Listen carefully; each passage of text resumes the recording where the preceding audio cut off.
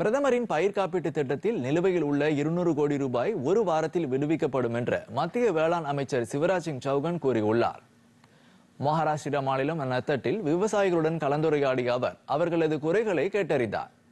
வேளாண் துறையை மேம்படுத்துவதற்கும் விவசாயிகளின் வருமானத்தை இரட்டிப்பாக்கவும் மத்திய அரசு செயல்படுத்தி வரும் நலத்திட்டங்களை பட்டியலிட்ட அமைச்சர் குறிப்பாக இயற்கை பேரிடர்களால் ஏற்படும் பெரும் இழப்பை விவசாயிகள் எதிர்கொள்ள காப்பீட்டு திட்டங்கள் பெரிதும் கை கொடுக்கும் என்றும் கூறினார். விவசாயிகள் சார்ந்த பிரச்சனைகளை உடனடியாக தீர்க்க வேண்டும் என்று அதிகாரிகளுக்கு அறிவுறுத்தி இருப்பதாகவும் அமைச்சர் சிவராஜ் சிங் சௌகன் குறிப்பிட்டார்.